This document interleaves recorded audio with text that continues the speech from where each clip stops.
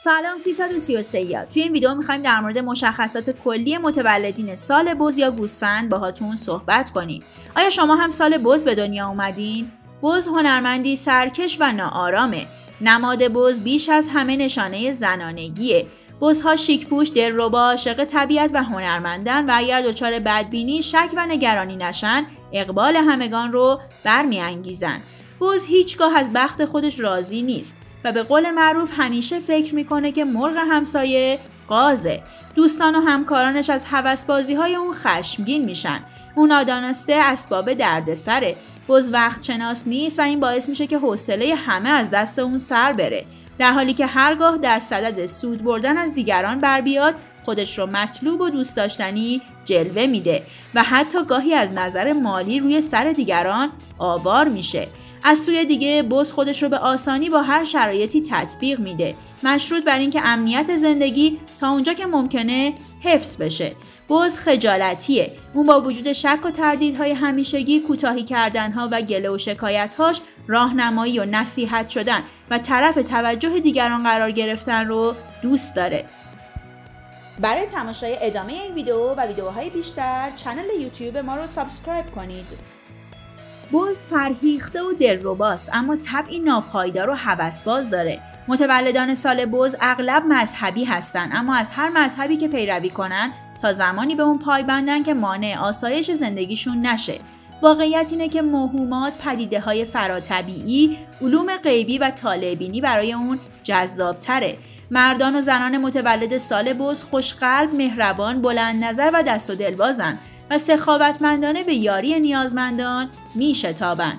اما متاسفانه آنچه که به دیگران میبخشند همیشه از آن خودشون نیست و مال دیگران رو هم مال خودشون می‌دونن. بد نیست بدونین که حس مالکیت در بز متغیره. بز اجازه میده اونو ببندن اما تناب رو می‌کشه. شرقی ها میگن اگر بزی رو در علفزار سرسبزی ببندین آرام و راضی خواهد بود. اما اگر در جایی کم علف نگهداری کنین هیچگاه از سر و صدا و قرولن دست بر نخواهد داشت. بز دیگران رو مسئول تمام پیشامدها می‌دونه.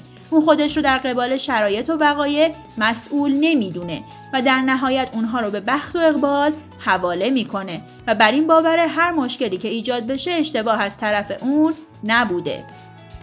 بز با درویی و ریاکاری اسباب ناراحتی دوستان و نزدیکان خودش رو فراهم می‌کنه. اون احساس مسئولیت نمی‌کنه. خلاق نیست و ارادش هم بسیار ضعیفه.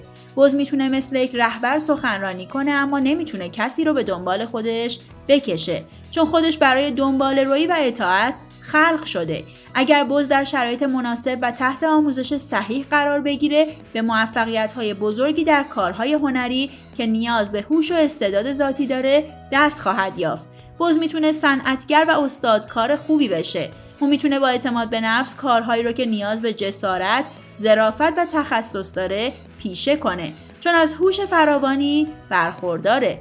بز هیچگاه رهبر خوبی از کار در نمیاد و این به صلاح اونه. همیشه اینطور بوده که حضور دستیار همکاری لایق باعث میشه که رئیس ضعیف جلوه کنه و بز هوسباز و دمدمی مزاج که نیازش تکیه بر شخصی استوار و واقع گراه بهتر فکر رهبری رو از سر بدر کنه. بز به اینکه دیگران از اون قدردانی کنن نیازمنده و اگر کسی با چاپلوسی از اون تعریف کنه همه کار براش انجام خواهد داد. همونطور که گفتیم بز نماد زنانگیه چون غربی ها همواره وابستگی از خود راضی بودن سستی و بیتفاوت بودن رو به جنس معنس نسبت میدن. مردان و زنان متولد سال بز بیش از هر چیز جویای امنیت و اطمینانن. خانم بزها دوست دارن با مردی ثروتمند ازدواج کنن و یا از حمایت فردی با نفوذ برخوردار بشن. و اگر اون هم نشد دست کم به زندگی با پدر و مادری ثروتمند رضایت میدن. شخصیت بز ممکنه بسیار پست یا بسیار والا باشه. همه چیز بستگی به نحوه تربیت شغل و بخت و اقبال اون داره.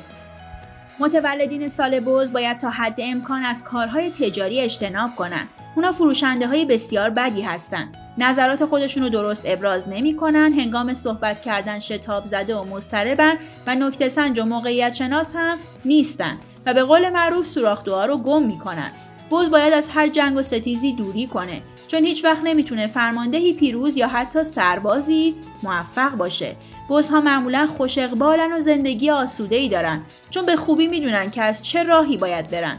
اگر شما خانه زیبا و راحت در حومه شهر دارین خوش صحبتین و با هنرمندان نشست و برخواست دارین هرگز بز رو به خونه خودتون راه ندین چون دیگه نمی‌تونین از دست اون رها بشین. چرا که ذاتا تجمل طلب و دوستدار اهل هنر و طبیعتن.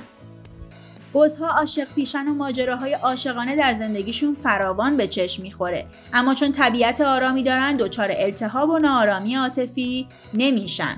دوران جوانی بز آکنده از ماجراهای عاشقانه است. اما در دوران کودکی و پیری بخت با اون همراهه.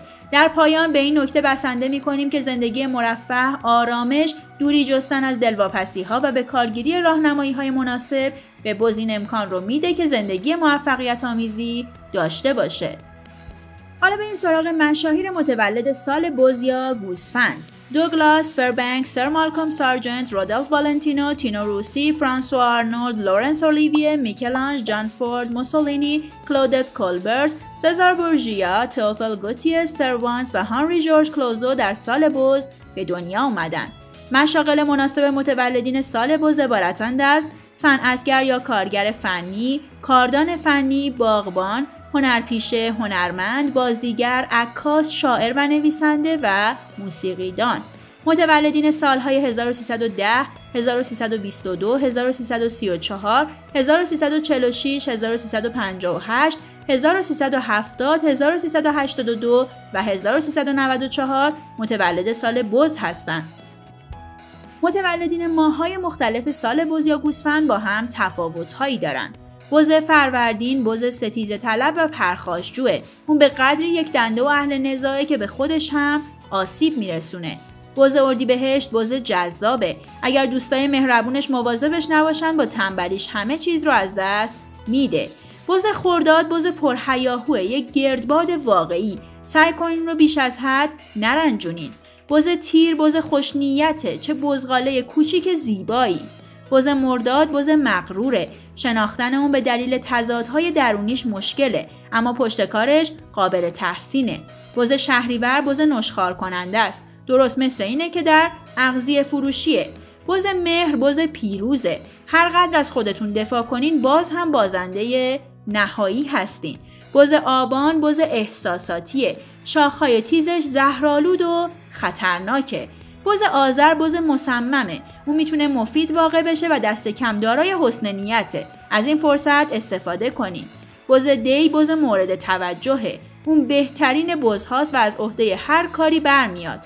اما دچار توهمه.